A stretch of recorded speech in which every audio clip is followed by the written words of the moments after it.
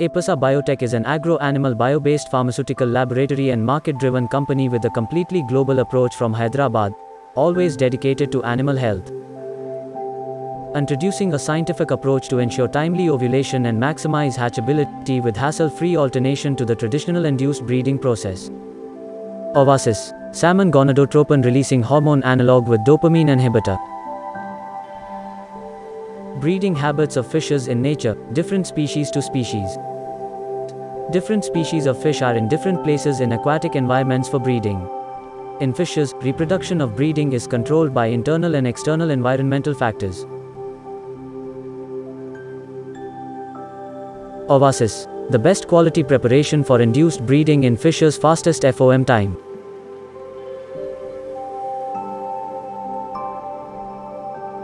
Benefits